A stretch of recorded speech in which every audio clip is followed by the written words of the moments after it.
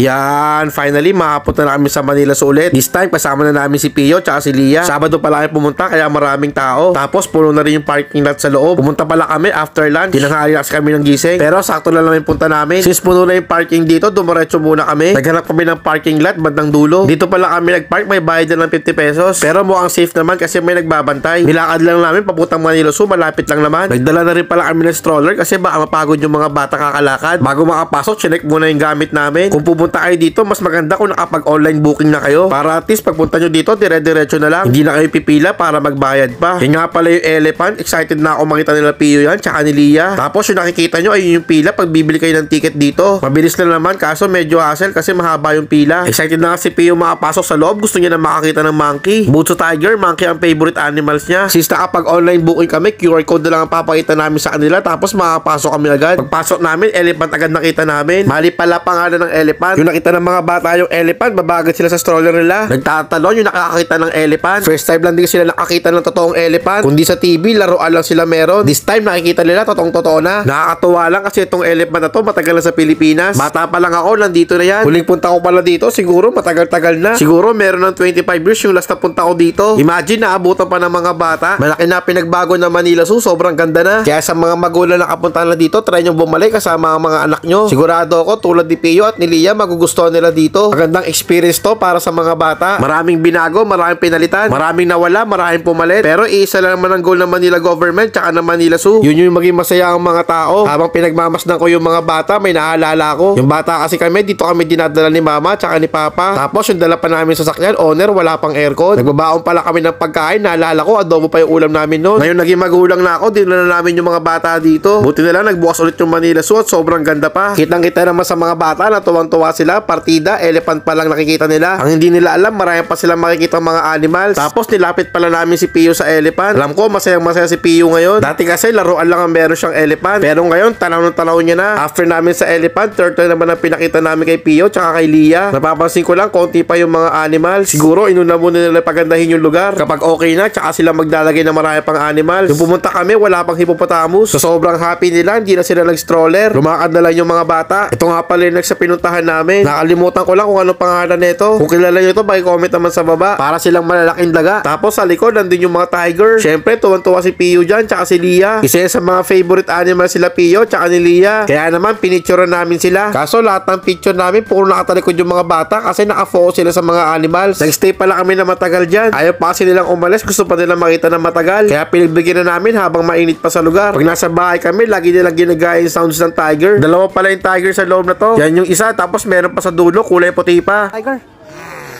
What, what, what? More, more, more.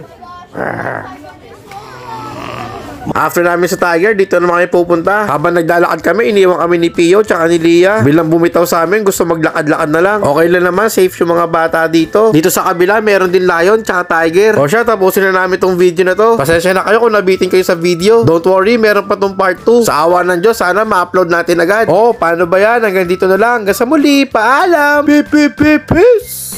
Parang pumiyok pa ako.